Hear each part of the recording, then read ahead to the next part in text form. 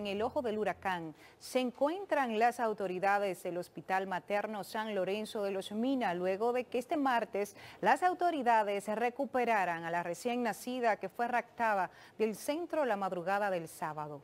Nuestra periodista Camila Santiago nos da lo último de este hecho en directo. Adelante Camila, buenas tardes.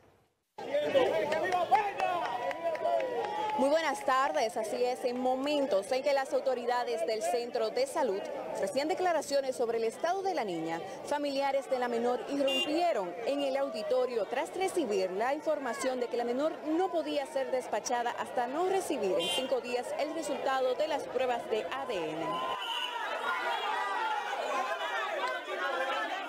Con la ira flor de piel, exigen que la madre y la niña sean dadas de alta hoy mismo. Hoy. O hay para aquí. Va a ser robada por una persona y va a ser atrapada así como así. Nosotros exigimos que se profundicen las investigaciones. Ha querido acusar a nosotras las enfermeras como que somos delincuentes y somos ladronas. Nosotras como Azonaén no somos seguridad, no somos vigilantes. El caos mantiene militarizado el centro de salud. Ante los constantes cuestionamientos sobre la seguridad de la maternidad, representantes de la oficina del Defensor del Pueblo acudieron al centro materno para realizar un levantamiento al sistema de seguridad del hospital.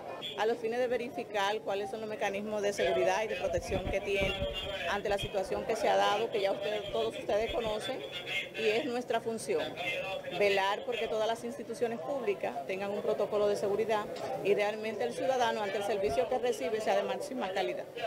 En horas de la mañana, la Policía Nacional informó que la recién nacida fue encontrada en agua. Según un video difundido en las redes sociales, estaba acostada y totalmente cubierta junto a la presunta autora del hecho, que supuestamente forma parte de una peligrosa banda.